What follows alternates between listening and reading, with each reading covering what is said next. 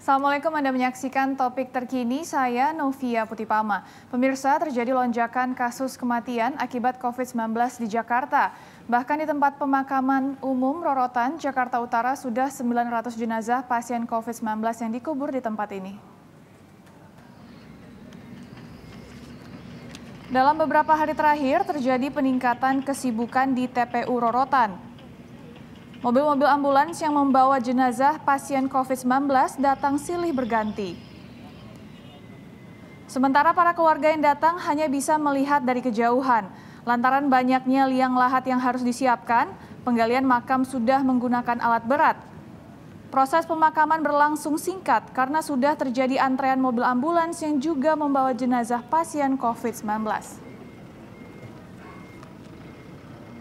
Demikian topik terkini, saksikan acara kami selanjutnya. Saya Novia Putipama, wassalamualaikum.